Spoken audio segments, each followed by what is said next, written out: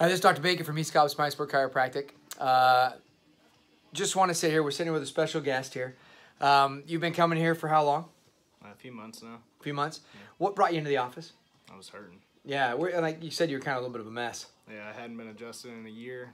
Um, didn't really know where to go, honestly. Yeah, and and we won't say anything, but you went and got adjusted. And then how did that experience? You said you kind of got out of there and it was kind of what? It would be worse than when I went in. Yeah, so that's not good.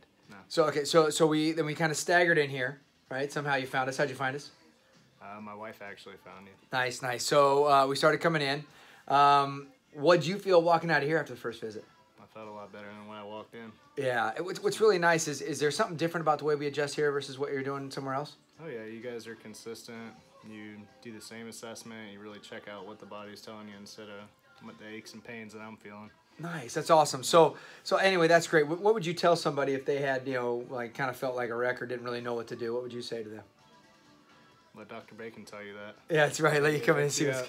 Yeah. Well, I appreciate it. Thank you very much. Once again, this is just another little bacon bit uh, from here at uh, East Cobb Spine Sport Chiropractic. We'll talk to you guys again soon. Thanks for listening.